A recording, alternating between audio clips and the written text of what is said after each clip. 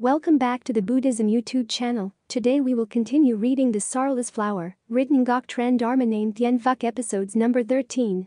183. 48 secondary or lighter precepts. 48 secondary or lighter precepts which the Buddha taught all bodhisattvas in the Brahma Net Sutra. First secondary precept on disrespect toward teachers and friends. A disciple of the Buddha who is destined to become an emperor, a wheel-turning king, or high official, should first receive the bodhisattva precepts. He will then be under the protection of all guardians, deities and spirits, and the Buddhas will be pleased. Once he has received the precepts, the disciple should develop a mind of filial piety and respect. Whenever he meets an elder master, a monk, or a fellow cultivator of like views and like conduct, he should rise and greet him with respect. He must then respectfully make offerings to the guest monks in accord with the Dharma. He should be willing to pledge himself, his family, as well as his kingdom, cities, jewels, and other possessions. If instead, he should develop conceit or arrogance, delusion or anger, refusing to rise and greet guest monks and make offerings to them respectfully, in accordance with the Dharma, he commits a secondary offense. Second secondary precept on consuming alcoholic beverages. A disciple of the Buddha should not intentionally consume alcoholic beverages, as they are the source of countless offenses. If he but offers a glass of wine to another person, his retribution will be to have no hands for 500 lifetimes. How could he then consume liquor himself? Indeed, a bodhisattva should not encourage any person of any other sentient being to consume alcoholic, much less take any alcoholic beverages himself. A disciple should not drink any alcoholic beverages whatsoever. If instead, he deliberately does so or encourage others to do so, he commits a secondary offense. Third secondary precept on eating meat. A disciple of the Buddha must not deliberately eat meat. He should not eat the flesh of any sentient being. The meat eater forfeits the seed of great compassion, severs the seed of the Buddha nature, and causes animals and transcendental beings to avoid him. Those who do so are guilty of countless offenses. Therefore, bodhisattvas should not eat flesh of any sentient beings whatsoever. If instead, he deliberately eats meat, he commits a secondary offense. Fourth secondary precept on five pungent herbs. A disciple of the Buddha should not eat the five pungent herbs garlic, chives, leeks, onions, and asafoetida. This is so even if they are added as flavoring to the main dishes. Hence, if he deliberately does so, he commits a secondary offense. Fifth secondary precept on not teaching repentance. Should a disciple of the Buddha see any being violate the five precepts, the eight precepts, the ten precepts, other prohibitions, or commit any of the seven cardinal sins or any offense which leads to the eight adversities, any violations of the precepts whatever, he should counsel the offender to repent and reform. Hence, if a bodhisattva does not do so and furthermore continues to live together in the assembly with the offender, share in the offerings of the laity, participate in the same uposatha ceremony and recite the precepts, while failing to bring up that person's offense, enjoining himself to repent, the disciple commits a secondary offense. Sixth secondary precept on failing to request the Dharma or make offerings. Should an elder master, a Mahayana monk or fellow cultivator of like views and practice, come from far away to the temple, residence, city or village of a disciple of the Buddha, the disciple should respectfully welcome him and see him off. He should minister to his needs at all times, though doing so may cost as much as three ounces of gold. Moreover, the disciple of the Buddha should respectfully request the guest master to preach the Dharma three times a day, by bowing to him without a single thought of resentment or weariness. He should be willing to sacrifice himself for the Dharma and never be lax in requesting it. If he does not act in this manner, he commits a secondary offense. 7. Secondary precept on failing to attend Dharma lectures a disciple of the Buddha, who has just begun bodhisattva training, should take copies of the appropriate sutras or precept codes to any place where such sutras or moral codes are being explained, to listen, study, and inquire about the Dharma. He should go to wherever there is a Dharma master lecturing, be it in a house, beneath a tree, in a temple, in the forests or mountains, or elsewhere. If he fails to do so, he commits a secondary offense. 8th Secondary precept on turning away from the Mahayana. If a disciple of the Buddha denies the eternal Mahayana sutras and moral codes, declaring that they were not actually taught by the Buddha, and instead follows and observes those of the two vehicles and deluded externalists, he commits a secondary offense. 9. Secondary precept on failure to care for the sick. Should a disciple of the Buddha see anyone who is sick, he is constantly to provide for that person's needs, just as he would for a Buddha. Of the eight fields of blessings, looking after the sick is the most important. A Buddha's disciple should take care of his father, mother, Dharma teacher or disciple, regardless of whether he or she is disabled or suffering from various kinds of diseases. If instead, he becomes angry and resentful and fails to do so, or refuses to rescue the sick or disabled in the temple, cities and towns, forests and mountains, or along the road, he commits a secondary offense. 10 Secondary Precept on Storing Deadly Weapons a disciple of the Buddha should not store weapons such as knives, clubs, bows, arrows, spears, axes or any other weapons, nor may he keep nets, traps or any such devices used in destroying life. As a disciple of the Buddha, he must not even avenge the death of his parents, let alone kill sentient beings. He should not store any weapons or devices that can be used to kill sentient beings. If he deliberately does so, he commits a secondary offense. 11th Secondary Precept on Serving as an Emissary. A disciple of the Buddha shall not, out of personal benefit or evil intentions, act as a country emissary to foster military confrontation and war, causing the slaughter of countless sentient beings. As a disciple of the Buddha, he should not be involved in military affairs or serve as a courier between armies, much less act as a willing catalyst for war. If he deliberately does so, he commits a secondary offense. 12th Secondary Precept on Unlawful Business Undertakings. A disciple of the Buddha must not deliberately trade in slaves or sell anyone into servitude, nor should he trade in domestic animals, coffins, or wood for caskets. He cannot engage in these types of business himself, much less encourage others to do so. Otherwise, he commits a secondary offense. 13th Secondary Precept on Slander and Libel. A disciple of the Buddha must not, without cause and with evil intentions, slander virtuous people, such as elder masters, monks or nuns, kings, princes, or other upright persons, saying that they have committed the seven cardinal sins or broken the ten major bodhisattva precepts. He should be compassionate and filial and treat all virtuous people as if they were his father, mother, siblings, or other close relatives. If instead he slanders and harms them, he commits a secondary offense. 14th Secondary Precept on Starting Wildfire. A disciple of the Buddha shall not, out of evil intentions, start wildfires to clear forests and burn vegetation on mountains and plains during the fourth to the ninth months of the lunar year. Such fires are particularly injurious to animals during that period and may spread to people's homes, towns and villages, temples and monasteries, fields and groves, as well as the unseen dwellings and possessions of deities and ghosts. He must not intentionally set fire to any place where there is life.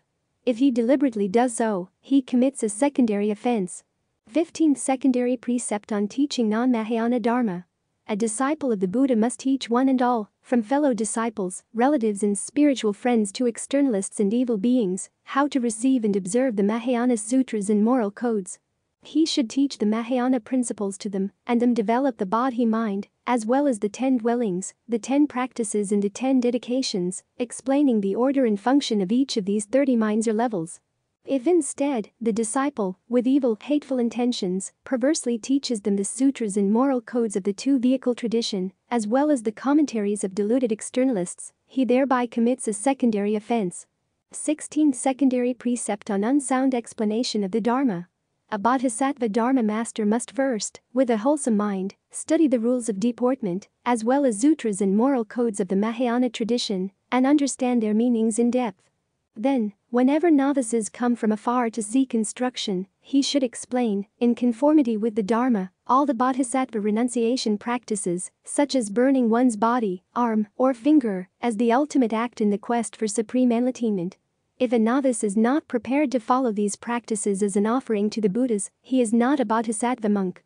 Moreover, a bodhisattva monk should be willing to sacrifice his body and limbs for starving beasts and hungry ghosts, as the ultimate act of compassion in rescuing sentient beings. After these explanations, the bodhisattva dharma master should teach the novices in an orderly way to awaken their minds.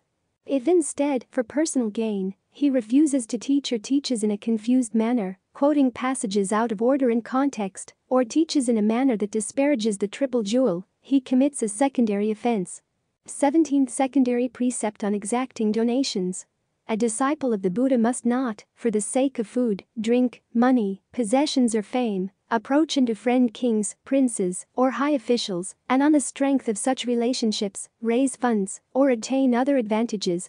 Nor may he encourage others to do so. these actions are called untoward. Excessive demands and lack compassion and filial piety. Such a disciple commits a secondary offense. 18th Secondary Precept on Serving as an Inadequate Master. A disciple of the Buddha should study the 12 divisions of the Dharma and recite the Bodhisattva precepts frequently. He should strictly observe these precepts in the six periods of the day and night and fully understand their meaning and principles, as well as the essence of their Buddha nature. If instead, the disciple of the Buddha fails to understand even a sentence or a verse of the moral code or the causes and conditions related to the precepts, but pretends to understand them, he is deceiving both himself and others. A disciple who understands oathing of the Dharma, yet acts as a teacher transmitting the precepts, commits a secondary offense. 19th Secondary Precept on Double Tongue Speech. A disciple of the Buddha must not, with malicious intent, gossip or spread rumors and slander, create discord and disdain for virtuous people. An example is disparaging a monk who observes the bodhisattva precepts, as he makes offerings to the Buddha by holding an incense burner to his forehead. A disciple of the Buddha who does so commits a secondary offense. 20th Secondary Precept on Failure to Liberate Sentient Beings. A disciple of the Buddha should have a mind of compassion and cultivate the practice of liberating sentient beings. He must reflect thus Throughout the eons of time, all male sentient beings have been my father, all female sentient beings my mother. I was born of them. I now slaughter them, I would be slaughtering my parents, as well as eating flesh that was once my own. This is so because all elemental earth, water, fire, and air, the four constituents of all life, have previously been part of my body, part of my substance. I must therefore always cultivate the practice of liberating sentient beings and enjoin others to do likewise, as sentient beings are forever reborn, again and again, lifetime after lifetime.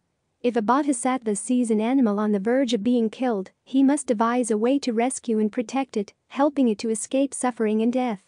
The disciple should always teach the bodhisattva precepts to rescue and deliver sentient beings, on the day of his father, mother, and siblings die, he should invite Dharma Master to explain the Bodhisattva Sutras and precepts. This will generate merits and virtues and help the deceased either to achieve rebirth in the Pure Land and meet the Buddhas or to secure rebirth in the human or celestial realms. If instead, a disciple falls to do so, he commits a secondary offense. 21st Secondary Precept on Violence and Vengefulness. A disciple of the Buddha must not return anger for anger, blow for blow, he should not seek revenge, even if his father, mother, siblings, or close relatives are killed, nor should he do so if the ruler or king of his country is murdered. To take the life of one being in order to avenge the killing of another is contrary to filial piety, as we are all related through eons of birth and rebirth. Furthermore, he should not keep others in servitude, much less beat or abuse them, creating evil karma of mind, speech, and body day after day, particularly the offenses of speech. How much less should he deliberately commit the seven cardinal sins?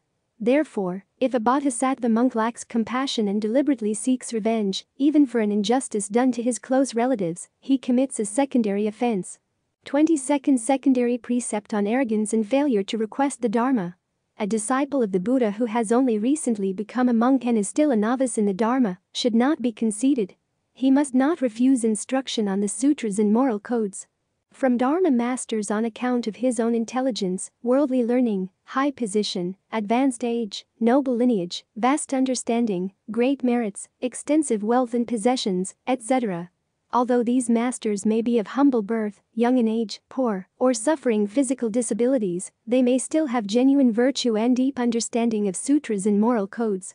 The novice bodhisattva should not judge Dharma masters on the basis of their family background and refuse to seek instructions on the Mahayana truths from them. If he does so, he commits a secondary offense. 23rd Secondary Precept on Teaching the Dharma Grudgingly. After my passing, should a disciple, with a wholesome mind, wish to receive the Bodhisattva precepts, he may make a vow to do so before the images of Buddhas and Bodhisattvas and practice repentance before these images for seven days. If he then experienced a vision, he has received the precepts. If he does not, he should continue doing so for 14 days, 21 days, or even a whole year, seeking to witness an auspicious sign. After witnessing such a sign, he could, in front of images of Buddhas and Bodhisattvas, formally receive the precepts. If he has not witnessed such a sign, although he may have accepted the precepts before the Buddha images, he has not actually received the precepts. However, the witnessing of auspicious signs is not necessary if the disciple receive the precepts directly from a Dharma master who has himself received the precepts. Why is this so? It is because this is a case of transmission from master to master, and therefore all that is required is a mind of utter sincerity and respect on the part of the disciple. If, within a radius of some thousand miles, a disciple cannot find a master capable of conferring the bodhisattva precepts, he may seek to receive them in front of Buddha or bodhisattva images. However, he must witness an auspicious sign. If a Dharma master, on account of his extensive knowledge of sutras and Mahayana moral codes as well as his close relationship with kings, princes, and high officials, refuses to give appropriate answer to student bodhisattvas seeking the meaning of sutras and moral codes, or does so grudgingly, with resentment and arrogance, he commits a secondary offense. 24th Secondary Precept on Failure to Practice Mahayana Teaching if a disciple of the Buddha fails to study Mahayana sutras and moral codes assiduously and cultivate correct views, correct nature, and correct Dharma body, it is like abandoning the seven precious jewels for mere stones. Worldly texts into two vehicular externalist commentaries. To do so is to create the causes and conditions that obstruct the path to enlightenment and cut himself off from his Buddha nature. It is a failure to follow the Bodhisattva path. If a disciple intentionally acts in such a manner, he commits a secondary offense. 25th Secondary Precept on Unskilled Leadership of the Assembly. After my pawing, should a disciple serve as an abbot, elder master, precept master, meditation master, or guest prefect, he must develop a compassionate mind and peacefully settle differences within the assembly, skillfully administering the resources of the three jewels, spending frugally and not treating them as his own property, if instead he were to create disorder, provoke quarrels and disputes or squander the resources of the assembly, he would commit a secondary offense. 26th Secondary Precept on Accepting Personal Offerings. Once a disciple of the Buddha has settled down in a temple, if visiting Bodhisattva bhikshu should arrive at the temple precincts, the guest quarters established by the king, or even the summer retreat quarters, or the quarters of the great assembly, the disciple should welcome the visiting monks and see them off he should provide them with such essentials as food and drink, a place to live, beds, chairs, and the like. If the host does not have the necessary means, he should be willing to pawn himself or cut off and sell his own flesh. Whenever there are meal offerings and ceremonies at a layman's home, visiting monks should be given a fair share of the offerings. The abbot should send the monks, whether residents or guests, to the donor's place in turn, according to their sacerdotal age or merits and virtues. If only resident monks are allowed to accept invitations and not visiting monks, the abbot is committing a grievous offense and is behaving no differently than an animal. He is unworthy of being a monk or a son of the Buddha and is guilty of a secondary offense. 27 Secondary Precept on Accepting Discriminatory Invitation. A disciple of the Buddha must not accept personal invitations nor appropriate the offerings for himself. Such offerings rightly belong to the Sangha, the whole community of monks and nuns of the Ten Directions.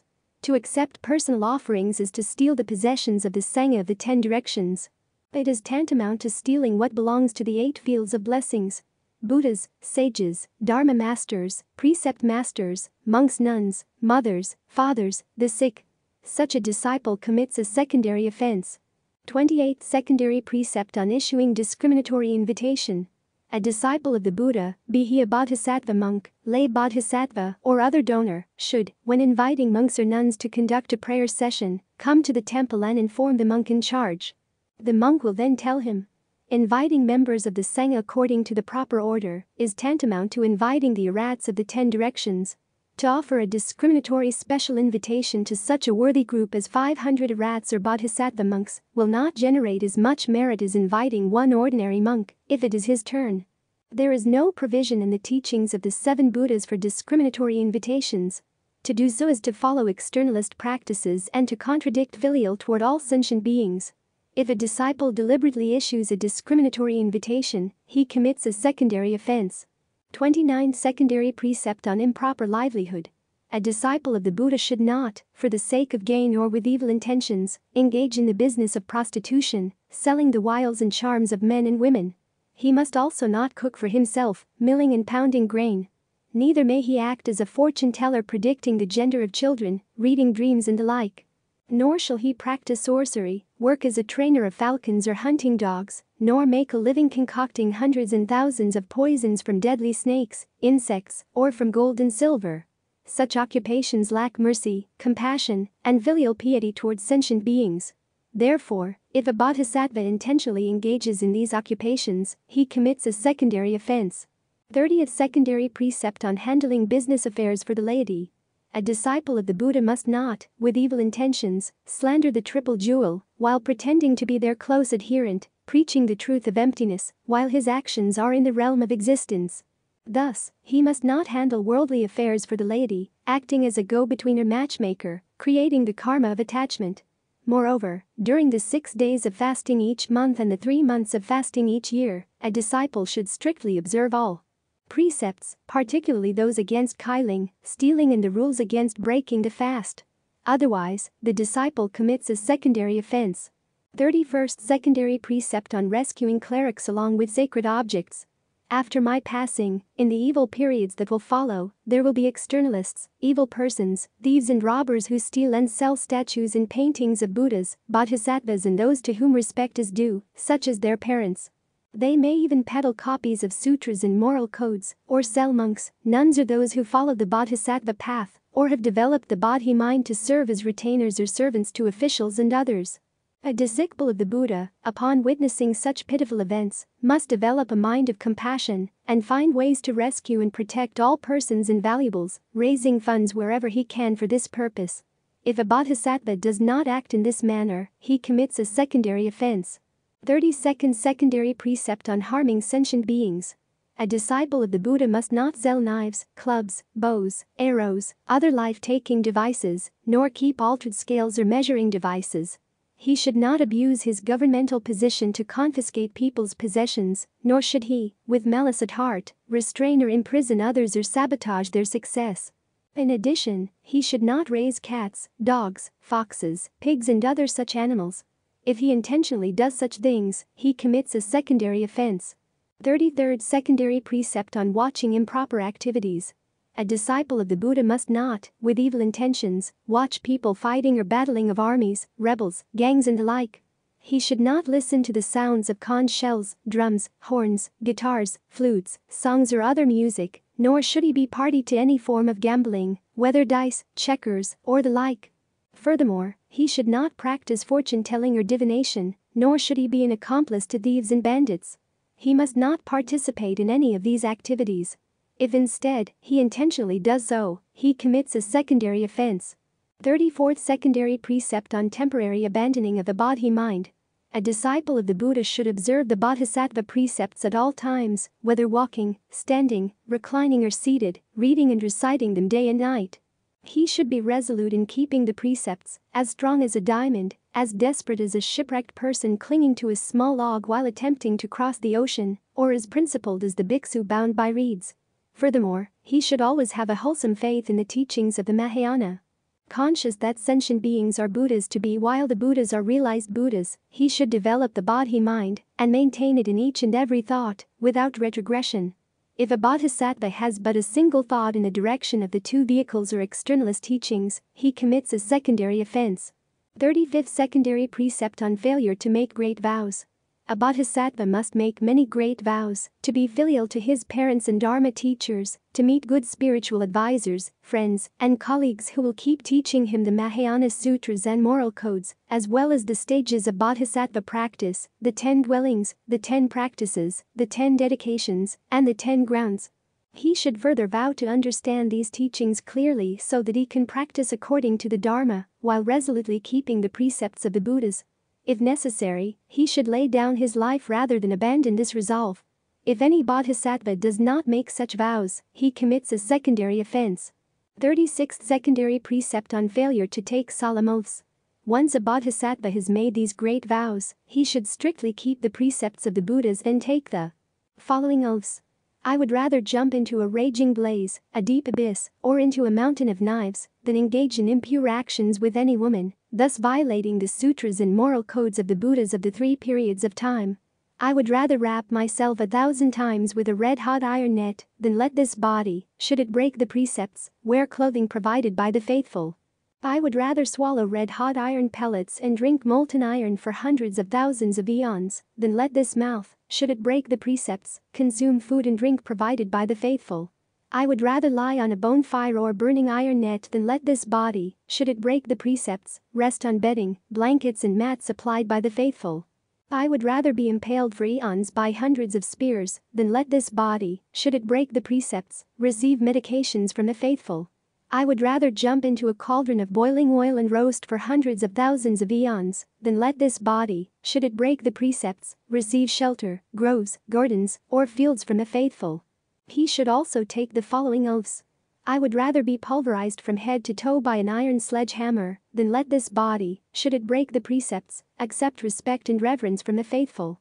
I would rather have both eyes blinded by hundreds of thousands of swords and spears than break the precepts by looking at beautiful forms.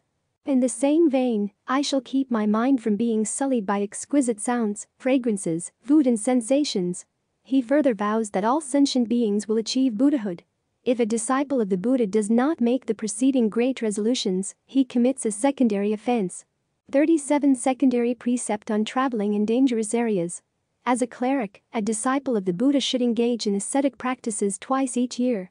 He should sit in meditation, winter and summer, and observe the summer retreat.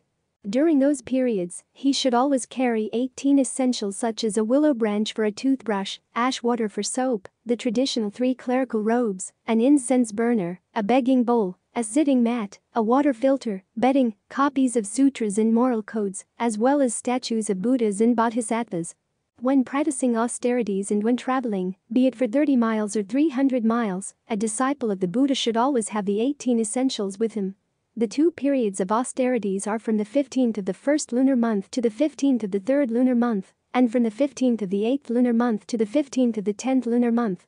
During the periods of austerities, he requires these 18 essentials just as a bird needs its two wings, Twice each month, the novice bodhisattva should attend the uposatha ceremony and recite the 10 major and 48 secondary precepts. Such recitations should be done before images of the Buddhas and bodhisattvas. If only one person attends the ceremony, then he should do the reciting. If two, three, or even hundreds of thousands attend the ceremony, still only one person should recite.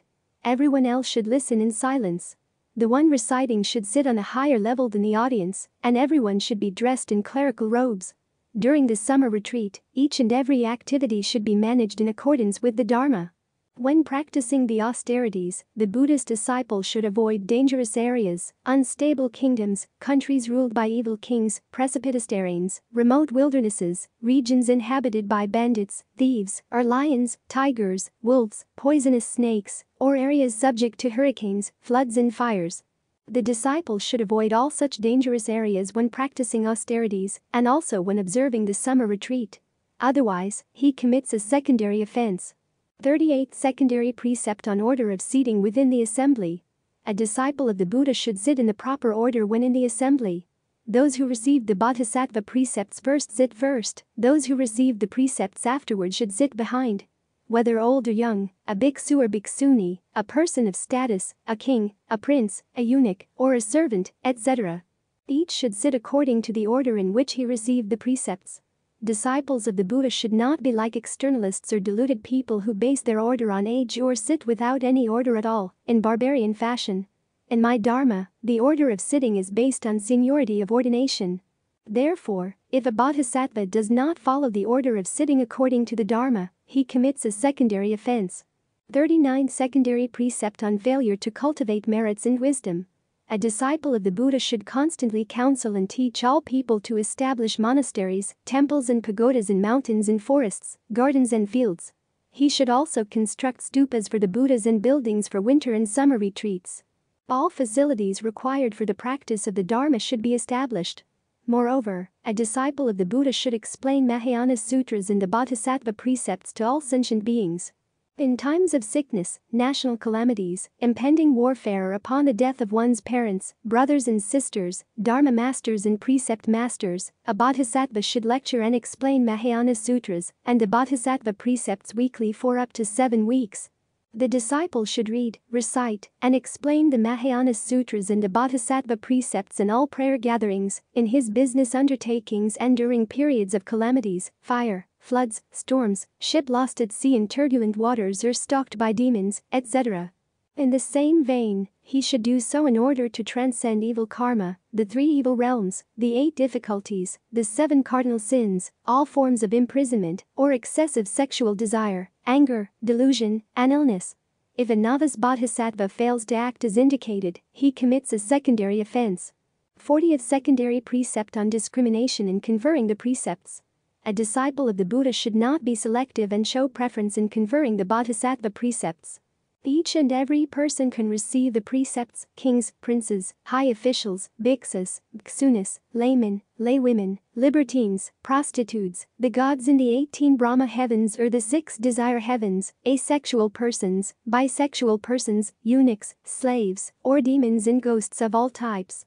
Buddhist disciples should be instructed to wear robes and sleep on cloth of a neutral color, formed by blending blue, yellow, red, black and purple dyes all together, the clothing of monks and nuns should, in all countries, be different from those worn by ordinary persons. Before someone is allowed to receive the Bodhisattva precepts, he should be asked, Have you committed any cardinal sins? The precept master should not allow those who have committed such sins to receive the precepts. Here are the seven cardinal sins shedding the Buddha's blood, murdering a sage, killing one's father, one's mother, murdering a Dharma teacher, murdering a precept master, or disrupting the harmony of the Sangha. Except for those who have committed the cardinal sins, everyone can receive the Bodhisattva precepts. The Dharma rules of the Buddhist order prohibit monks and nuns from bowing down before rulers, parents, relatives, demons, and ghosts. Anyone who understands the explanations of the precept master can receive the Bodhisattva precepts. Therefore, if a person were to come from 30 to 300 miles away, Seeking the Dharma and precept master, out of meanness and anger, does not promptly confer these precepts, he commits a secondary offense.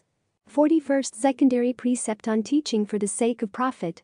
If a disciple of the Buddha, when teaching others and developing their faith in the Mahayana, should discover that a particular person wishes to receive the Bodhisattva precepts, he should act as a teaching master and instruct that person to seek out two masters, a Dharma master and a precept master. These two masters should ask the precept candidate whether he has committed any of the seven cardinal sins in this life.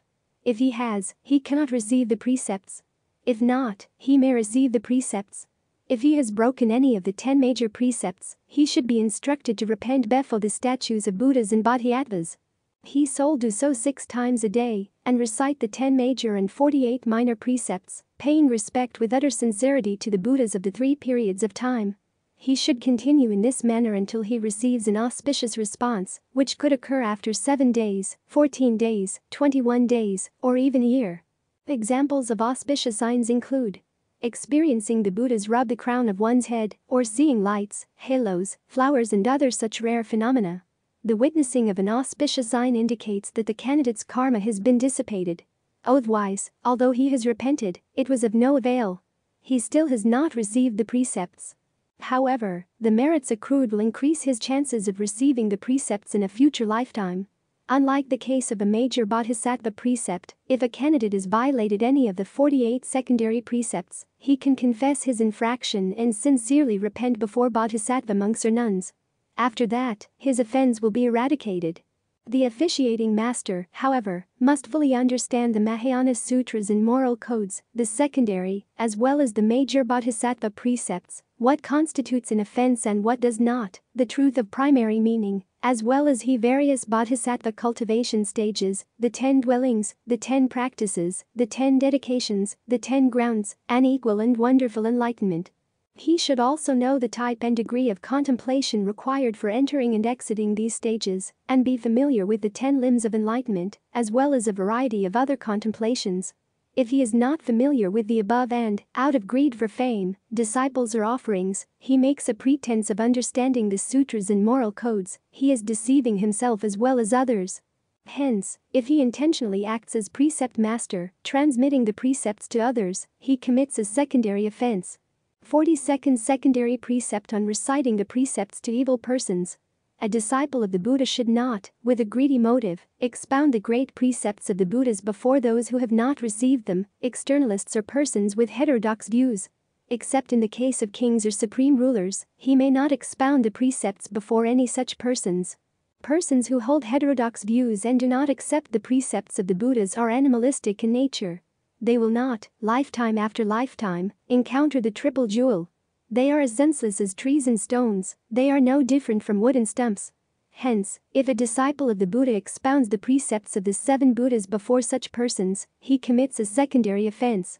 43rd Secondary Precept on Thoughts of Violating the Precepts. If a disciple of the Buddha joins the order out of pure faith, receives the correct precepts of the Buddhas, but then develops thoughts of violating the precepts, he is unworthy of receiving any offerings.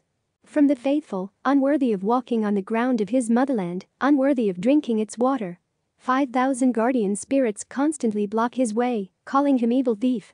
These spirits always follow him into people's homes, villages, and towns, sweeping away his very footprints. Everyone curses such a disciple, calling him a thief within the Dharma. All sentient beings avert their eyes, not wishing to see him. A disciple of the Buddha who breaks the precepts is no different from an animal or a wooden stump. Hence, if a disciple intentionally violates the correct precepts, he commits a secondary offense. 44th Secondary Precept on Failure to Honor the Sutras and Moral Codes. A disciple of the Buddha should always single mindedly receive, observe, read, and recite the Mahayana Sutras and Moral Codes. He should copy the sutras and moral codes onto bark, paper, fine cloth, or bamboo clats, and not hesitate to use his own skin as paper, draw his own blood for ink and his marrow for ink solvent, or split his bones for use as pens. He should use precious gems, priceless incense and flowers and other precious things to make and adorn covers and cases to store the sutras and codes. Hence, if he does not make offerings to the sutras and moral codes in accordance with the Dharma, he commits a secondary offense. 45th Secondary Precept on Failure to Teach Sentient Beings. A disciple of the Buddha should develop a mind of great compassion, Whenever he enters people's homes, villages, cities, or towns and sees sentient beings, he should say aloud, You sentient beings should all take the three refuges and receive the ten major bodhisattva precepts. Should he come across cows, pigs, horses, sheep, and other kinds of animals, he should concentrate and say aloud, You are now animals, you should develop the bodhi mind, a bodhisattva, wherever he goes, be it climbing a mountain, entering a forest, crossing a river, or walking through a field, should help all sentient beings develop the bodhi mind. If a disciple of the Buddha does not wholeheartedly teach and rescue sentient beings in such a manner, he commits a secondary offense. 46th Secondary Precept on Preaching in an Inappropriate Manner. A disciple of the Buddha should always have a mind of great compassion to teach and transform sentient beings. Whether visiting wealthy and aristocratic donors or addressing Dharma gatherings, he should not remain standing while explaining the Dharma to laymen, but should occupy a raised seat in front of the lay assembly. A bhiksu serving as Dharma instructor must not be standing while lecturing to the fourfold assembly. During such lectures, the Dharma master should sit on a raised seat amidst flowers and incense, while the fourfold assembly must listen from lower seats. The assembly must respect and follow the master like filial sons following their parents or Brahmins worshipping fire. If a Dharma master does not follow these rules while preaching the Dharma, he commits a secondary offense. 47 Secondary Precept on Regulations against the Dharma. A disciple of the Buddha who has accepted the precepts of the Buddhas with a faithful mind must not use his high official position as a king, prince, official, etc. to undermine the moral code of the Buddhas. He may not establish rules and regulations preventing the four kinds of lay disciples from joining the order and practicing the way, nor may he prohibit the making of Buddha or Bodhisattva images, statues, and stupas, or the printing and distribution of sutras and codes. Likewise, he must not establish rules and regulations placing controls on the fourfold assembly. If highly placed lay disciples engage in actions contrary to the Dharma, they are no different from vassals in the service of illegitimate rulers a bodhisattva should rightfully receive respect and offerings from all. If instead he is forced to defer to officials, this is contrary to the Dharma, contrary to the moral code. Hence, if a king or official has received the bodhisattva precepts with a wholesome mind, he should avoid offenses that harm the three jewels. If instead he intentionally commits such acts, he is guilty of a secondary offense.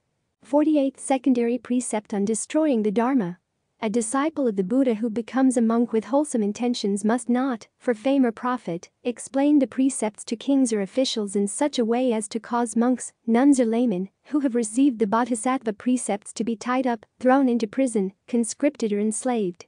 If a bodhisattva acts in such a manner, he is no different from a worm in a lion's body, eating away at the lion's flesh. This is not something a worm living outside the lion can do. Likewise, only disciples of the Buddhas can bring down the Dharma, no externalist or celestial demon can do so. Those who have received the precepts of the Buddha should protect and observe them, just as a mother would care for her only child or a filial son his parents. They must not bring down the Dharma.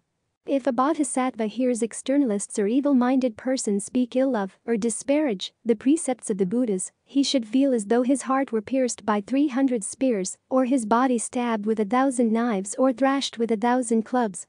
He would rather suffer in the hells himself for a hundred eons than hear evil beings disparage the precepts of the Buddha. How much worse it would be if the disciple were to break the precepts himself or incite others to do so. This is indeed an unfilial mind. Hence, if he violates the precepts intentionally, he commits a secondary offense. 184. Lay Buddhists. The Buddhist community consists of two groups of people, the Sangha and the laity. The word Sangha means friendly community, it usually refers to the Buddhist monks and nuns. They live in monasteries. The laity includes Buddhist men and women who do not become monks and nuns.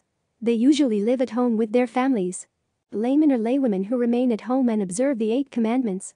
Buddhism does not demand of the lay follower all that a member of the order is expected to observe. But whether monk or layman, moral habits are essential to the upward path.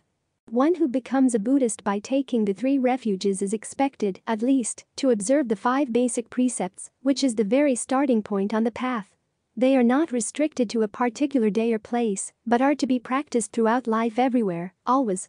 There is also the possibility of their being violated, except those who have attained stages of sanctity. However, according to Buddhism, wrongdoing is not regarded as a sin, for the Buddha is not a lawyer or a judge who punished the bad and rewarded the good deeds of beings.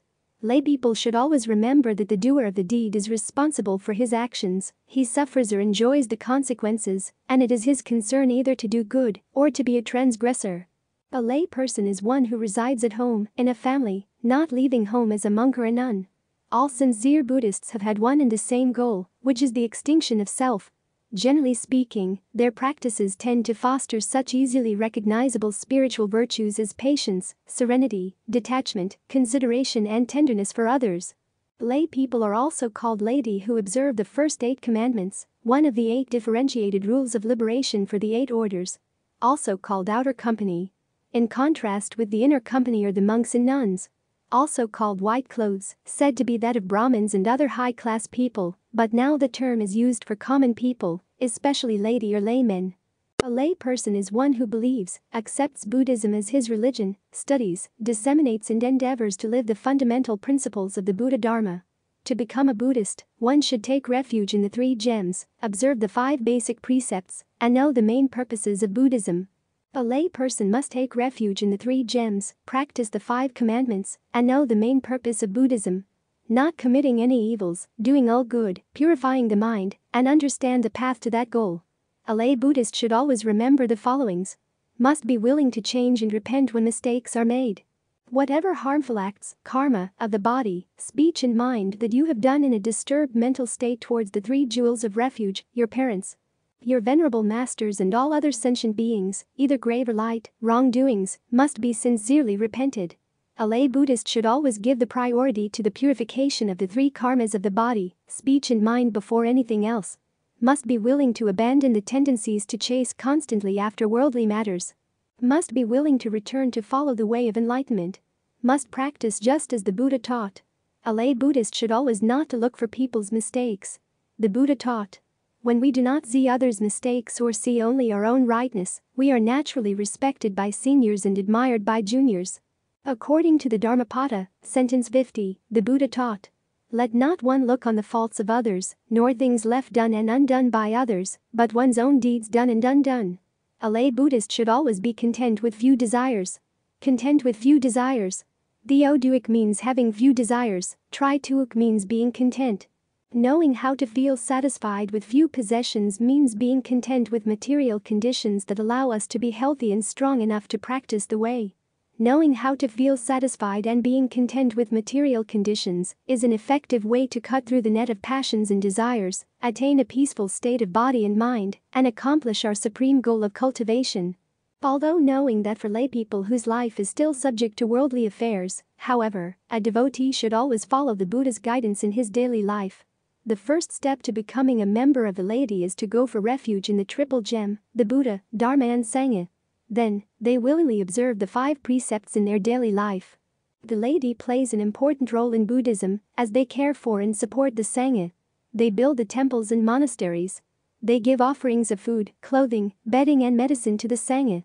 In return, the Sangha carries on the work of Buddhism and teaches the laity on the Dharma. In this way the Sangha and the laity benefit each other, and together, they keep the Dharma alive. Whether one is a member of the Sangha or the laity, they all are Buddhists, and they should do their best to live an honest life, show compassion to all living beings, and set a good example. Even when they are working or meditating, it should be for the benefit of others as well as for themselves. To help laypeople overcome their disturbing attitudes and stop committing harmful actions, the Buddha set out five precepts. During a brief ceremony performed by a monk or nun, laypeople can take refuge in the triple gem Buddha, Dharma, and Sangha. At the same time, they can take any of the five lay precepts and become either an upasaka or upasika. When performing this ceremony, some masters include only the first precept of not killing and let laypeople decide themselves to take any or all of the other four. Other masters give all five precepts at the time of giving refuge. Laypeople may also take eight precepts for a period of 24 hours every month. Many laypeople like to take the eight precepts on new and full moon days, or the end of the lunar month, or on Buddhist festivals, although they may be taken on any day. The first five of these eight are similar to the five lay precepts, with the exception that the precept against unwise sexual behavior become abstinent from sex because the precepts are kept for only one day, See 8 precepts. In Thailand's and Cambodia's traditions, there is a custom whereby most young men become monks and hold the Sramanera precepts for three months, at least once during their lives. They usually do this when they are young adults, as it gives them a foundation in strict ethics and is very auspicious for their families. At the end of the three month period, they give back their precepts and return to worldly family life. 185. Owing. Bowing with the meaning of honor and respect, or having regard and consideration for someone. In Buddhism, prostration is an act of paying homage to an elder, a master, a nun, a monk, a bodhisattva, or a Buddha. However, the best way to respect the Buddha is to follow his advice. Not to do evil, to do good, and to purify one's mind. Besides, bowing or field of reverence is one of the extraordinary methods of cultivation.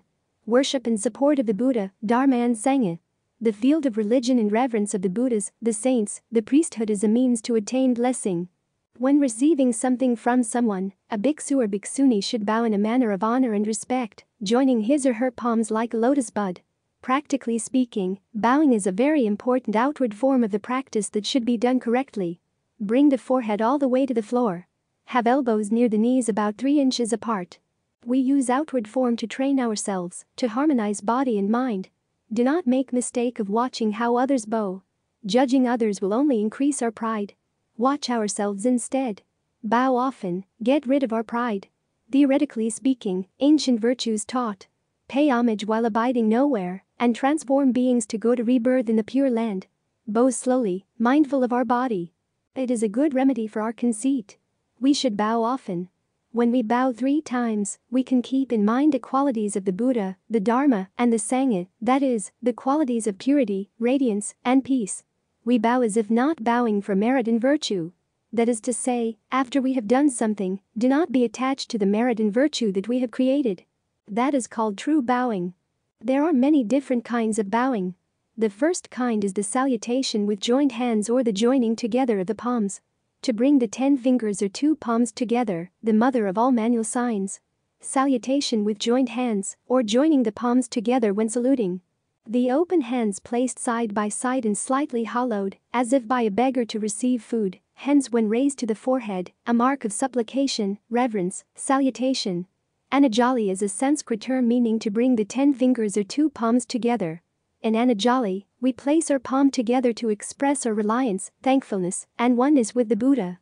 The right hand symbolizes the Buddha and the left hand the human being. When they are placed together, we feel that the Buddha is in us and we are in the Buddha. Anjali is a symbol of the perfect unity of men and the Buddha. Besides, the open hands placed side by side and slightly hollowed, as if by a beggar to receive food, hence when raised to the forehead, is also a mark of supplication, reverence, salutation. The second type is bowing to the Buddha recitation. This is one of the ten kinds of oral recitation. This technique consists of making bows as we recite the Buddha's name. Either we recite once before each bow or we bow as we recite, regardless of the number of recitations. The bowing should be supple yet deliberate complementing recitation, bowing and reciting perfectly synchronized. If we add a sincere and earnest mind, body, speech and mind are gathered together. Except for the words Amitabha Buddha, there is not the slightest deluded thought. This method has the ability to destroy the karma of drowsiness. Its benefits are very great because the practitioner engages in recitation with his body, speech and mind. A lay practitioner of old used to follow this method, and each day and night, he would bow and recite an average of 1,000 times. However, this practice is the particular domain of those with strong mind power.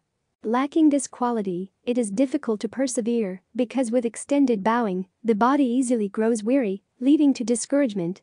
Therefore, this method is normally used in conjunction with other methods and is not practiced in exclusively. The third type of bowing is the prostrations every third step. According to the Vajrayana tradition, prostrations every third step means going around the central Lhasa temple, made by prostrations every third step, to get rid of evils or obtain blessing. The fourth type of bowing is the embrace the feet. To embrace the feet, i.e., Buddha's feet in reverence or pleading. To bow the head and face in reverence, to fall prostrate in reverence. According to Buddhist tradition, since the time of the Buddha, a Buddhist would embrace the Buddha's feet in reverence or pleading, or to extend the arms in that posture. The fifth type of bowing is the pradaksina. Pradaksina is a Sanskrit term for circumambulation. Circumambulation with the right shoulder towards the object of homage. This is one of the most common merit making activities throughout the Buddhist world, popular among both monastics and laypeople. It takes different forms, but its central practice is walking a circular route around a holy place in a clockwise direction. An exception to this is the non Buddhist Tibetan Bonpo tradition, whose members circumambulate in a counterclockwise, the probable reason for the clockwise orientation for Buddhists is the Indian notion that the left hand is ritually impure. Besides, there are nine other ways of showing respect in India. According to Xuanzang, there are nine ways of showing respect in India and it is time. They were saluting by asking about welfare, speaking softly, saluting by bowing the head, saluting by holding high hands, saluting by bowing head with folded hands, saluting by bending the knee, saluting by kneeling, saluting by placing two hands and knees on the ground, saluting by placing two elbows and knees on the ground, and saluting by humbly and submissively prostrating the whole body on the ground. According to Buddhism, when prostrating, one must wholeheartedly have physical verbal mental prostrations. First, physical prostration, which is primarily an act of paying homage with the body. It could assume various forms, for Buddhists, there is a particular way of prostration by joining the palms as a bud of a lotus flower. Besides, to bow down one's head before is also an act of physical respect. Second, verbal homage, with many ways of verbal homage. Repeating mantras is one of them. Recitation of the Buddha's name is another. Vow to seek refuge in a Buddha when seeing an image of that Buddha is also an act of paying homage through speech. Third, mental prostration, which is very important. You may not be physically prostrating us using verbal expressions in respect, but there is no telling how strong your inner mental respect may be. According to the Tibetan tradition, people prostrate the original teacher with many meanings. First, Vajra holder, at your lotus feet I prostrate. Your compassion grants even the sphere of bliss. The supreme state of the three kayas, in an instant guru with a jewel like body. Second, we prostrated your feet, holy refuge protector. You are the wisdom knowledge of all infinite conquerors appearing in any way that subdues. With supreme skillful means, you manifest as a saffron robed monk. Third, we prostrated your feet, venerable Guru. You eliminated all faults in their instincts and are a treasury of infinite precious qualities, sole source of benefit and bliss without exception.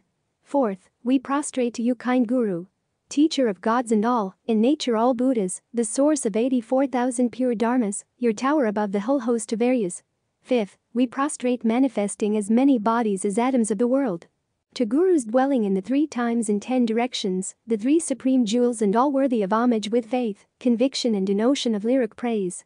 Besides, devout Buddhists should always bow and prostrate to the Buddha. Action in all Buddha lands, honoring all Buddhas, one of the ten kinds of action of great enlightening beings. Enlightening beings who abide by these can achieve the action of Buddhas that has no coming or going. Bodhisattvas take honoring the Buddhas as a reliance because their faith is purified. This is one of the ten kinds of reliance of great enlightening beings. According to the Flower Adornment Sutra, Chapter 38, Detachment from the World, the great enlightening being universally good, told universal wisdom that offsprings of Buddha, great enlightening beings, have ten kinds of reliance, which help them be able to obtain abodes of the unexcelled great knowledge of Buddhas. Sincere Buddhists should follow good example of great enlightening beings, honor and provide for all Buddhas, Bowing in prostration to the Buddha are humble expressions of respect and appreciation for the historical Buddha, our teacher, who understood the truth of the universe and our nature. Based upon his kindness and compassion to liberate all sentient beings from suffering, the Buddha serves as an excellent model for humanity. Therefore, in bowing before the Buddha, we also reminded of our own Buddha nature. We humbly examine our mind and renew our vow to remove any obstacles from our mind and life which prevent us from becoming a fully enlightened Buddha, manifesting the kindness, compassion, and wisdom our teacher has shown to us in order to benefit all sentient beings. When we bow to the Buddhas, we should concentrate single mindedly and show respect with our bodies. Bowing to the Buddhas can eradicate obstructions which result from offenses. It is said, to bow before the Buddhas can eradicate offenses as numerous as the grains of sand in the Ganges, for if offenses were solid objects they would fill up worlds as numerous as the Ganges sands. This is the first of the ten conducts and vows of Samantabhadra Bodhisattva, universal worthy Bodhisattva, means to have a mind of deep faith and understanding of all Buddhas, as if they were before our eyes, and to keep our body, mouth and mind karma completely, the realm of space is inexhausted, our worshipping and respecting all Buddhas never end, the realm of living beings is inexhausted, and the afflictions of living beings are inexhaustible, our worshipping and respecting all Buddhas never end. Bowing is a very important outward form of the practice that should be done correctly. Bring the forehead all the way to the floor. Have elbows near the knees about 3 inches apart. Bow slowly, mindful of our body. It is a good remedy for our conceit. We should bow often, when we bow three times, we can keep in mind the qualities of the Buddha, the Dharma, and the Sangha, that is, the qualities of purity, radiance, and peace. We use outward form to train ourselves, to harmonize body and mind. Do not make mistake of watching how others bow. Judging others will only increase our pride. Watch ourselves instead. Bow often, get rid of our pride. Bowing and prostrating is also one of the ten kinds of oral recitation. This technique consists of making bows as we recite the Buddha's name. Either we recite once before each bow or we bow as we recite, regardless of the number of recitations. The bowing should be supple yet deliberate, complementing. Recitation, bowing and reciting perfectly synchronized. If we add a sincere and earnest mind, body, speech and mind are gathered together. Except for the words Amitabha Buddha, there is not the slightest diluted thought. This method has the ability to destroy the karma of drowsiness, its benefits are very great because the practitioner engages in recitation with his body, speech, and mind. A lay practitioner of old used to follow this method, and each day and night he would bow and recite an average of 1,000 times. However, this practice is the particular domain of those with strong mind power. Lacking this quality, it is difficult to persevere because with extended bowing, the body easily grows weary, leading to discouragement. Therefore, this method is normally used in conjunction with other methods and is not practiced in exclusively. 186.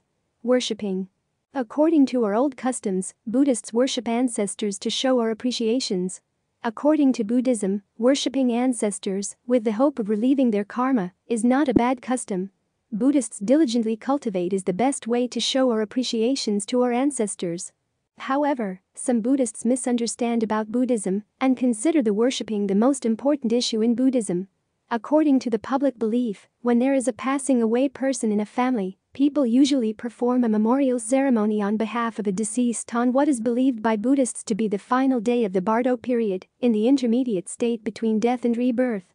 Vietnamese people have the custom of ancestor worship for a very long time. Vietnamese people have long believed in the existence of the solar consciousness after death. Ancestors are thought to watch over and to support their living descendants. Thus, living descendants always worship their ancestors with ultimate respect. Vietnamese people celebrate death anniversary not only for their deceased parents but also for their grandparents, great-grandparents, and great-great-grandparents. They can celebrate with a party or with the simplest ancestral ritual of burning incense and bowing before their ancestors' altars or before their ancestors' portraits. In some families, beside placing offerings of food and drink in front of the altar, they also have the custom to burn paper money for their ancestors. In addition, in some areas in central Vietnam, there still exist some clan temples which worship ancestors of the same surnames. It is no doubt that ancestor worship has helped our people maintain unity and continuity, maintaining generations. According to our old customs, Buddhists worship ancestors to show our appreciations. According to Buddhism, worshipping ancestors, with the hope of relieving their karma, is not a bad custom. Buddhists diligently cultivate is the best way to show our appreciations to our ancestors. However, some Buddhists misunderstand about Buddhism and consider the worshipping the most important issue in Buddhism. Buddhism never encouraged Buddhists to worship their ancestors blindly. On the contrary, Buddhism always promotes ancestor worship reasonably by the practice of chanting sutras for the dead, hoping to relieve their karma. Besides, usually on 15th of the third lunar month, people celebrate the Qingming festival to honor their ancestors and departed spirits. East Asian people such as Chinese, Japanese, Korean, Vietnamese often celebrate this festival by going to the cemetery to cut grasses, clean and offer food and fruits on their ancestors' tombs. According to Buddhist traditions, Buddhists also have the custom of worshipping the Buddha. In India, after the Buddha's parinirvana, Buddhists give the Buddha all the honors due to a Hindu incarnate god. They began to worship the image of the Buddha for the same reasons as the Hindu, namely to stimulate feeling and meditation. It is now everyone accepted that the worship of idols among the Hindus is as old as 500 to 450 BC nowadays. In Ceylon, Burma, China, Vietnam, and other Buddhist countries, people worship the Buddha's image in the same fashion as the Hindus do in India, by offering flowers, food, cloth, incense, and prayers. They also act in the making of an image as the painting of the eyes, a magical rite as in India. They believe that to do this, the image is vivified into godship. However, Sincere Buddhists should always remember that the Buddha never approved of the idea of installing his image for worship in stupas. Devout Buddhists not only not to take the image as visible representations of God, but also not to consider that the idol contains in its substance any portion of all-pervading divinity. Buddhists should reverence the Buddha statue and other related precious Dharma things as mementos of the greatest, wisest, most benevolent and compassionate man in this world. To us, the Buddha seems more to be revered and beloved than any great men. Devout Buddhists should always remember that from the beginning, the Buddha condemned the observance of ceremonies and other external practices, which only tend to increase our spiritual blindness and our clinging to more superstitions. Buddhists offer flowers and incense to the Buddha as an outward form of respect to the Buddha. When we offer flowers, we think that as those flowers fade, we also fade and die, therefore, there is nothing in this world for us to cling on. However, when offering to the Buddha, Buddhists take five kinds of incense or fragrance, corresponding with the five kinds of Dharmakaya, five attributes of Dharmakaya or spiritual body of the Tathagata. The Dharmakaya is above all moral conditions, the Dharmakaya is tranquil, and apart from all false ideas, the Dharmakaya is wise and omniscient, the Dharmakaya is free, unlimited, unconditioned. Which is the state of nirvana, and the Dharmakaya has perfect knowledge. 187. Worshipping the eye images of the saints. To make an image, the first one made of the Buddha is attributed to Udayana, king of Kausambi, a contemporary of Sakyamuni, who is said to have made an image of the Buddha after his nirvana, in sandalwood, 5 feet high. People believe that when they make a statue of the Buddha, in the next lives they will have a clear vision, they will not be born in the evil places, they will always be born in a noble and good family, they will be very wealthy, and they will be able to revere the triple jewel, and so on. In fact, according taught the Buddha, sincere Buddhists need no semblance or appearance. Before reaching the stage of bodhisattvahood known as joy, a bodhisattva enters into the realm of no shadows. A bodhisattva on going up to the seventh stage, a bodhisattva still has a trace of mindfulness, but at the eighth the state of imagelessness or no conscious drivings attains. It is by means of prajna that the imagelessness and the supernatural glory are realized. Sincere Buddhists should always remember that the number of statues we make doesn't matter, it does matter how we cultivate to improve ourselves in this very life. Sin- sincere Buddhists should always remember that worshipping the image of the Buddha to pay respect to what the image stand for, not to worship the image itself. According to the Earth Store Bodhisattva Sutra, Chapter 13, the Buddha told Empty Space Treasure Bodhisattva. If gods, dragons, or spirits of the present or future hear Earth Store's name, bow to his image, or merely hear of his past vows, deeds, and practices, and then praise him and gaze at and worship him, they will benefit in seven ways they will quickly reach the sage's ground, their evil karma will be eradicated, all the Buddhas will protect and be near them, they will not retreat from Bodhi. Their inherent powers will increase, they will know their past lives, and they will ultimately realize Buddhahood. According to the Sutra of the Past Vows of Earth Store Bodhisattva, Chapter 11, the Dharma protection of an Earth Spirit, the Earth Spirit firm and stable, spoke to the Buddha and said, World honored one, as I regard the living beings of the present and future, I see those who make shrines of clay, stone, bamboo, or wood, and set them on pure ground in the southern part of their dwellings. They place within the shrines an image of earth store bodhisattva, either sculpted, painted, or made of gold, silver, copper, or iron. They then burn incense, make offerings, behold, worship, and praise him. Such people will receive 10 kinds of benefits. What are these 10? First, their lands will be fertile. Second, their families and homes will always be peaceful. Third, their deceased ancestors will be born in the heavens. Fourth, those still alive will have benefit and will have their lifespan increased. Fifth, they will obtain what they want. Sixth, they will not encounter the disasters of water and fire. Seventh, they will avoid unforeseen calamities. Eighth, their nightmares will cease. Ninth, they will be protected by spirits during their comings and goings. 10th, they will encounter many causes. Besides, according to the Earth Store Bodhisattva Sutra, Chapter 13, the Buddha told Empty Space Treasure Bodhisattva. Listen attentively. Listen attentively. I shall enumerate them and describe them to you. If there are good men or women in the future who see Earth Store Bodhisattva's image, or who hear this sutra or read or recite it, who use incense, flowers, food and drink, clothing, or gems as offerings, or if they praise, gaze upon, and worship him, they will benefit in 28 ways. Gods and dragons will be mindful of them and protect them, the fruits of their goodness will increase daily, they will accumulate superior causes of sagehood, they will not retreat from bodhi, their food and drink will be abundant, epidemics will not touch them, they will not encounter disasters of fire and water. They will not have any difficulties with thieves or armed robbers, they will be respected by all who see them, they will be aided by ghosts and spirits, women will be reborn as men, if born as women, they will be daughters of kings and ministers, they will have handsome features, they will often be born in the heavens, they may be emperors or kings, they will know their past lives. They will attain whatever they seek, their families will be happy, all disasters will be eradicated, cogniat viok nyo no truhan. They will eternally be apart from bad karmic paths, they will always arrive at their destination, at night their dreams will be peaceful and happy, their deceased ancestors will leave suffering behind, they will receive the blessings from their past lives to aid their rebirth. They will be praised by the sages, they will be intelligent, and they will have sharp faculties, they will have magnanimous, kind and sympathetic, compassionate hearts, and finally they will ultimately realize Buddhahood. 188. Day on which a particular Buddha or Bodhisattva is worshipped. According to Buddhist traditions, the day of the month on which a particular Buddha or Bodhisattva is worshipped, he is being in special charge of mundane affairs on that day, lunar calendar. These days extend from the 1st to the 30th day of the lunar calendar month. The first is the day of the Dhyana light Buddha on the first day of the month. The second is the day of the Dipankara Buddha on the second day of the month. The third is the day of the Prabhutaratna on the third day of the month. The fourth is the day of the Akshobhya Buddha on the fourth day of the month. The fifth is the day of the Maitreya Bodhisattva on the fifth of the month. The sixth is the day of the 20,000 lamp Buddha on the sixth day of the month.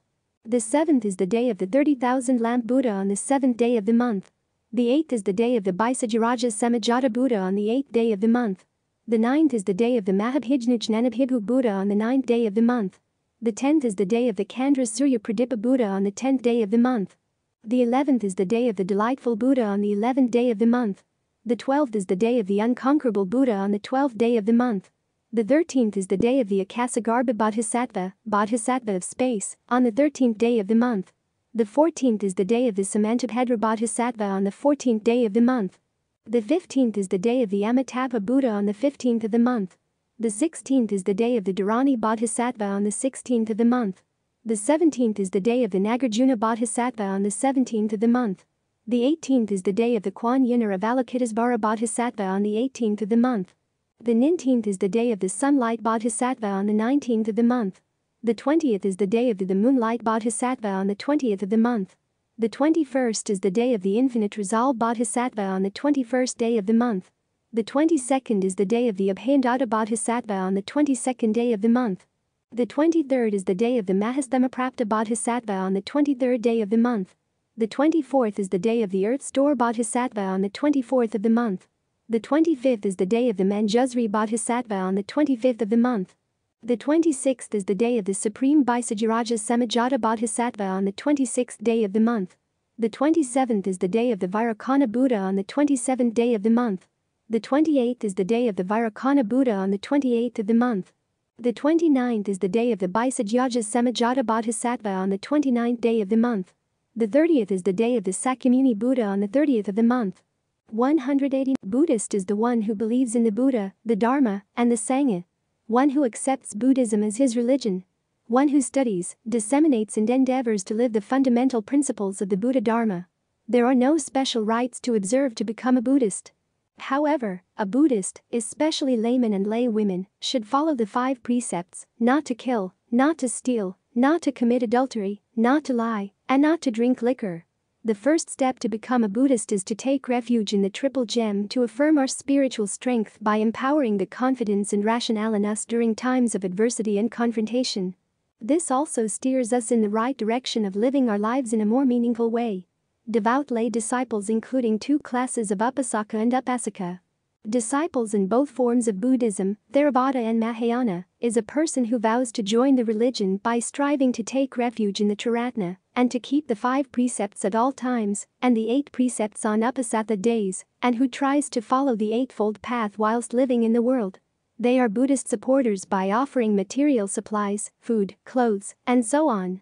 Countries with Buddhist tradition, Formal ordination of lay followers is extremely important for this is the central ceremony of faith for them to lead a virtuous life. To become a devoted, good Buddhist, beside keeping five or ten basic precepts, disseminates and endeavors to live the fundamental principles of the Buddha Dharma, one must meet the criteria taught by the Buddha. First of all, that Buddhist must observe the five cardinal virtues, five constant virtues.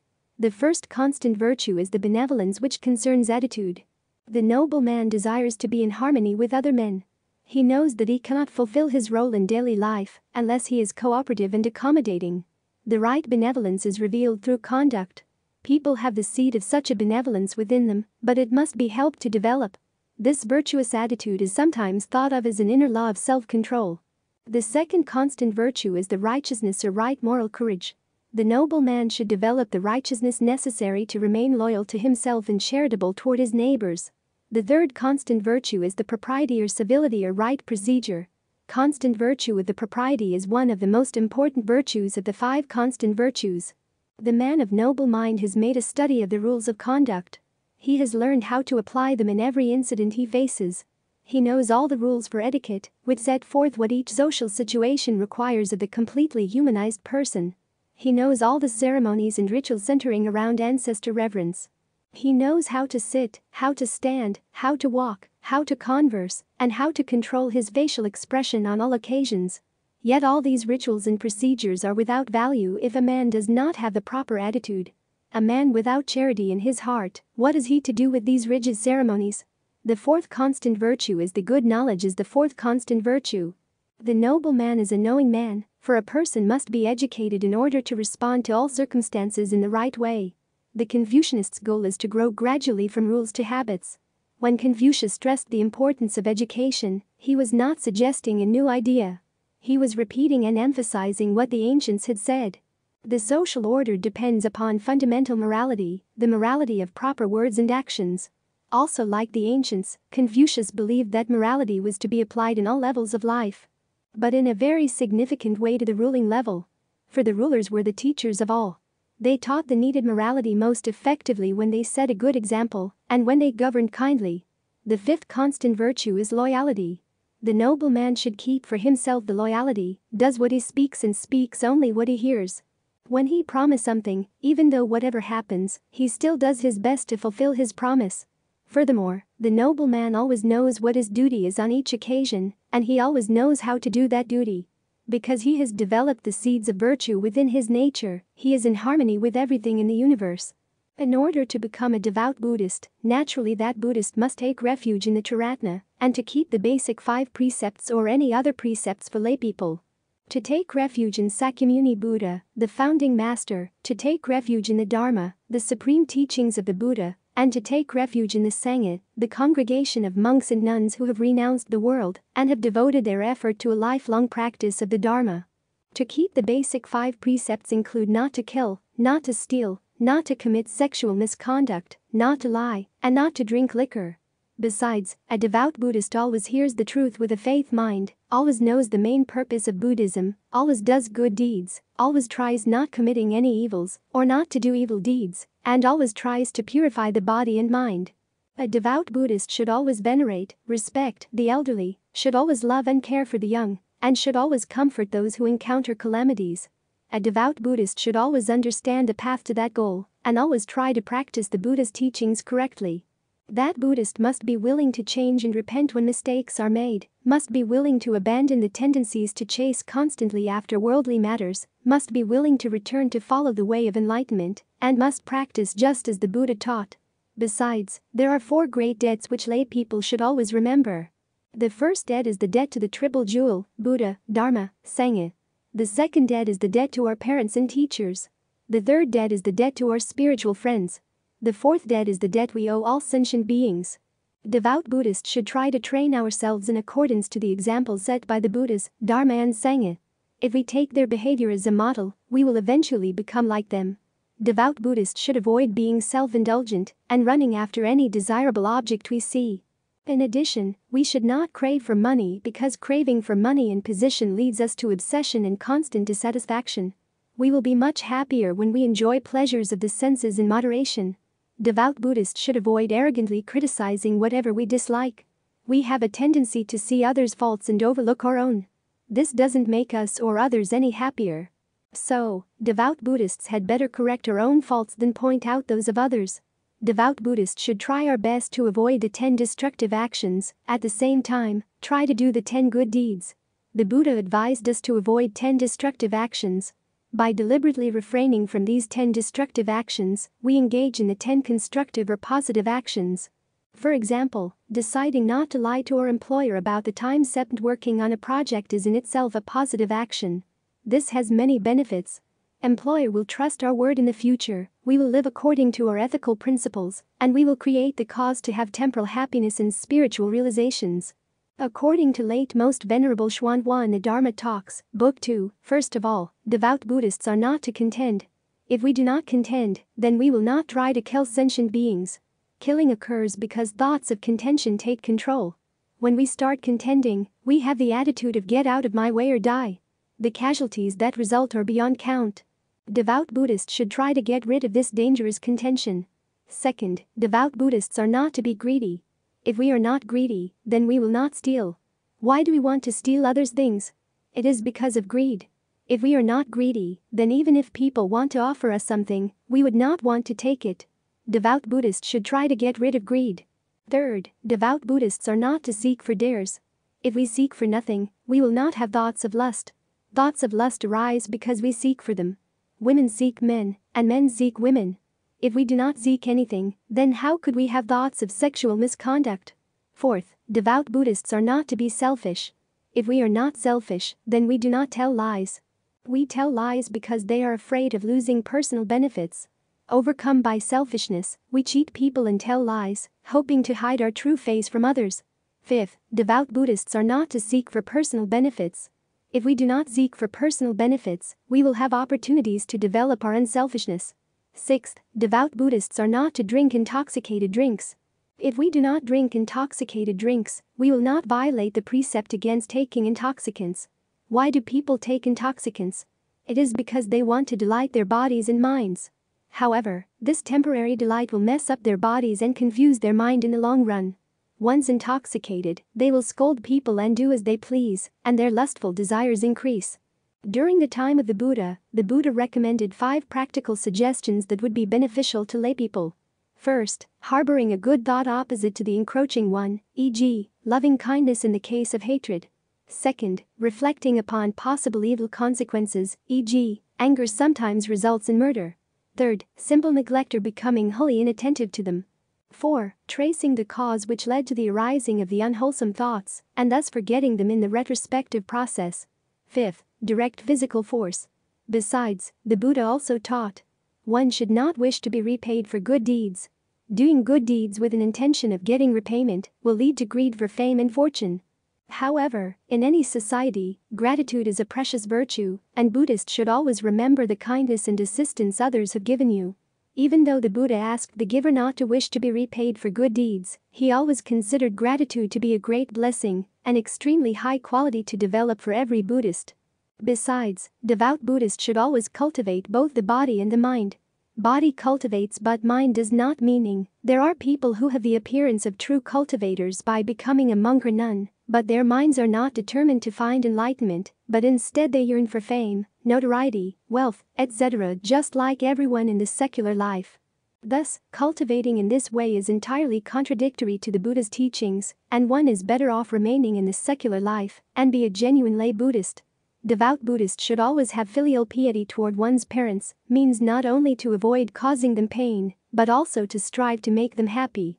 To be filial, therefore, is to have loving kindness and compassion towards our parents, not necessarily to obey them in any circumstances. Filial piety also means to strive to guide our parents to tread on the virtuous way. The Buddha taught when one is filial towards one's parents, it is the same as one has compassion for all sentient beings.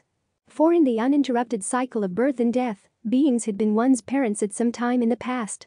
Thus, the Buddha taught, before joining the order, monks and nuns should bow down before their parents one last time in gratitude, and then never again. To be a good Buddhist, you should have an appropriate conduct of a real Buddhist. You should always conduct yourself according to the Buddha's teachings. To achieve these, you will not only become a noble man and attain happiness in this very life, but you will also be able to leave this world without fear, for you have committed no sins. Devout Buddhists should always remember that the Buddhas and Bodhisattvas always support us in our cultivation. They always promote the virtues of the followers, help them remove greed, hate, and delusion, and protect them from ghosts and men who may maliciously try to interfere with their spiritual practices. They bestow material benefits. Since the Buddhas and Bodhisattvas are all merciful, it was natural, and, in some ways, logical to assume that they should concern themselves with the ethereal wishes of their adherents, protect their earthly fortunes, and ward off disasters. Avalokitesvara, for example, protects caravans from robbers, sailors from shipwreck, criminals from execution. By his help, women obtain the children they wish. If one but thinks of Avalokitesvara, fire ceases to burn, swords fall to pieces, enemies become kind hearted, bonds are loosened, spells revert to where they came, beasts flee, and snakes lose their poison. However, this aspect of Buddhism is only used to help calm the mind of Buddhist beginners who encounter problems. The Buddhas and Bodhisattvas provide favorable conditions for the attainment of enlightenment and liberation for Buddhist followers. Finally, devout Buddhists should always look up the Buddhas and Bodhisattvas and consider them as objects of desire to love for all Buddhist followers. In the Anguttara Nikaya Sutra, the Buddha commented on the four kinds of bliss a layman enjoy. The first happiness is the bliss of ownership. Herein a clansman has wealth acquired by energetic striving, amassed by strength of arm, won by sweat, and lawfully gotten. At this thought, bliss and satisfaction come to him. This is called the bliss of ownership. The second happiness is the bliss of possession of property. Herein a clansman by means of wealth acquired by energetic striving, both enjoys his wealth and does meritorious deeds. At this thought, bliss and satisfaction come to him. This is called the bliss of wealth. The third happiness is the bliss of debtlessness. Herein a clansman owes no debt, great or small, to anyone. At the thought, bliss and satisfaction come to him. This is called the bliss of debtlessness. The third happiness is the bliss of blamelessness. Herein the Aryan disciple is blessed with blameless action of body, blameless action of speech, blameless action of mind. At the thought, bliss and satisfaction come to him. This is called the bliss of blamelessness. According to the Sutra in 42 sections, chapter 37, the Buddha said, My disciples may be several thousands miles away from me, but if they remember and practice my precepts, they will certainly obtain the fruits of the way. On the contrary, those who are by my side but do not follow my precepts, they may see me constantly, but in the end they will not attain the way. Also, according to the Sutra in 42 sections, chapter 27, the Buddha said, Those who follow the way are like floating pieces of woods in the water flowing above the current, not touching either shore, and that are not picked up by people, not intercepted by ghosts or spirits, not caught in whirlpools, and that which do not rot. I guarantee that these pieces of wood will certainly reach the sea. I guarantee that students of the way who are not deluded by emotional desire nor bothered by myriad of devious things but who are vigorous in their cultivation or development of the unconditioned will certainly attain the way. This is the end of this video. If you're enjoying and benefit from this video and want to see more awesome content like this, please consider hitting that subscribe button below. It's the best way to stay updated with all of our latest videos. And if you found this video beneficial, don't forget to give it a thumbs up and share it with your friends and family. Your support means the world to us, and it helps our channel grow. Thank you for being part of our incredible community. Together, we can make this channel even more fantastic. Stay tuned for more beneficial content coming your way. Thank you.